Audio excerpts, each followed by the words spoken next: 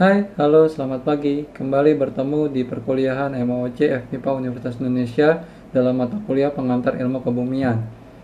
Masih di minggu ke-13 dengan topik posisi bumi di alam semesta, kita sudah memasuki materi yang keempat yaitu sistem tata surya. Nah, apa yang pertama kali kita bahas yaitu yang pertama adalah planet.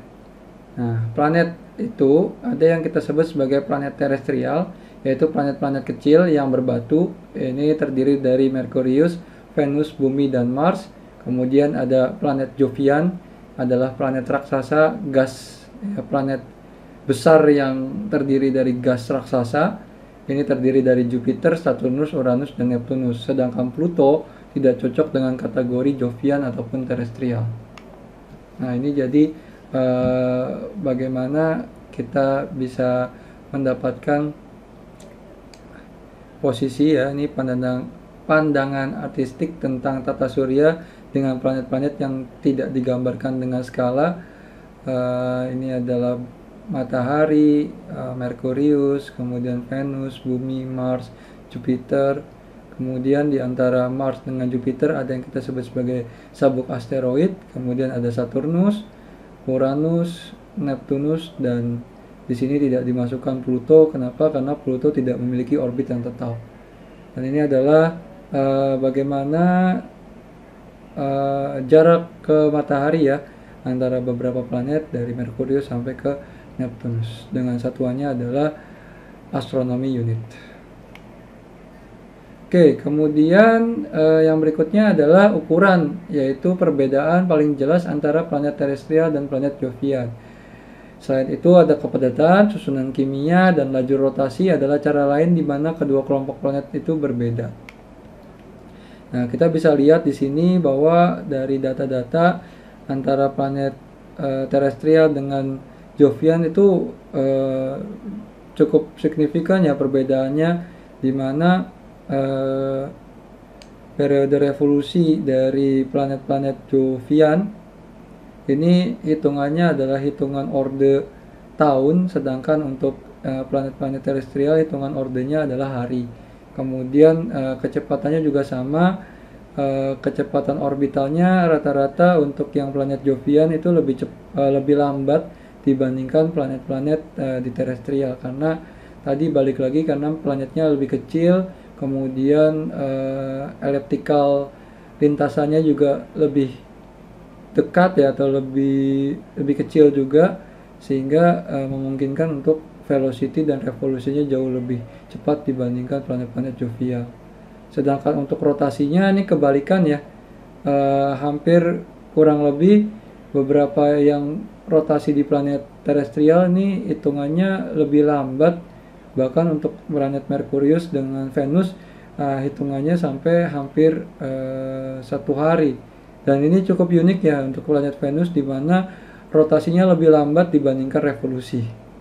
Sisanya eh, ya ini bisa di kita bisa lihat di sini. Dan diameternya tadi ya eh, bahwa planet-planet Jovian itu lebih besar dibandingkan planet-planet terestrial serta masanya yang eh, cukup signifikan di sana perbandingannya terhadap bumi. Untuk densitasnya ya walaupun besar ternyata kopong dia karena isinya gas. Jadi Jupiter aja juga masa jenisnya cuma 1,3 dibandingkan dengan uh, Merkurius sebagai planet terberat nomor 2 setelah uh, setelah Bumi ya untuk uh, masa jenis. Oke, kemudian uh, kita akan membahas tentang interior planet. Nah, jadi zat-zat yang terbentuk atau penyusun komponen-komponen pembentuk planet dibagi menjadi tiga kelompok, yaitu gas, batuan, dan es. Kemudian kita akan membahas tentang atmosfer di planet. Nah, planet-planet Jovian memiliki atmosfer yang terdiri dari hidrogen, helium, metana, dan amonia yang sangat tebal.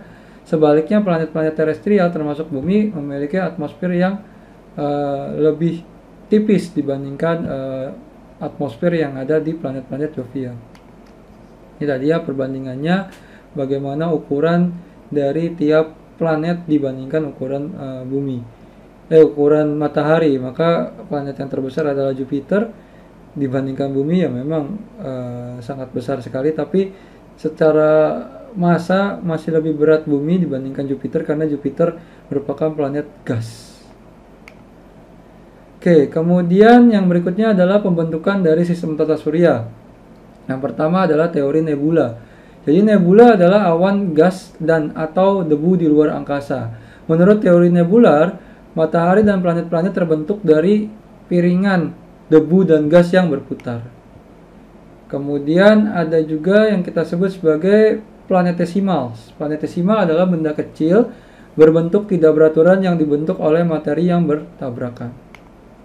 Nah, ini tadi ya, bagaimana uh, keterbentukan dari tata surya kita atau alam semesta. Ini adalah teori solar nebula. Kemudian uh, terus mengembang ya, mengembang terus uh, mengumpul menjadi pembentukan matahari yang menjadi uh, pusat dari uh, dis protoplanet dan ini adalah bentukan dari uh, planetesimal. Nah, ini adalah uh, ini ya apa namanya uh, komposisi dan mengikut me, meliputi dari temperatur serta dari dari matahari. Kita bisa ketahui bahwa yang bagian ini dominannya adalah tungsten, uh, aluminium uh, oksida dan besi ya di bagian yang temperaturnya di atas 1500. Maka kita akan dapatkan temperatur di Merkurius karena Merkurius adalah planet paling dekat dengan matahari dan atmosfernya tipis, maka otomatis temperaturnya sangat panas di Merkurius. Semakin menjauhi bumi, eh, semakin menjauhi matahari, maka kita akan dapatkan bahwa planet akan semakin uh, mendingin ya, di mana planet-planet seperti Jupiter ataupun planet-planet Jovian lainnya ini akan dominan terisi oleh eh, gas-gas uh, yang di mana mulai dari Saturnus sudah mendekati uh, titik titik beku ya karena Saturnus juga cincinnya merupakan cincin dari gas yang terdiri dari es. Oke, demikian untuk materi yang keempat ini. Silakan kalau ada pertanyaan dituliskan di kolom komentar di uh, channel YouTube ini dan kemudian bisa mengerjakan kuis baik itu di Idols ataupun di Emas 2 untuk bisa melanjutkan ke materi selanjutnya. Sekian dari saya, kurang lebihnya mohon maaf. Assalamualaikum warahmatullahi wabarakatuh. Selamat pagi, sampai ketemu di chapter selanjutnya. Terima kasih.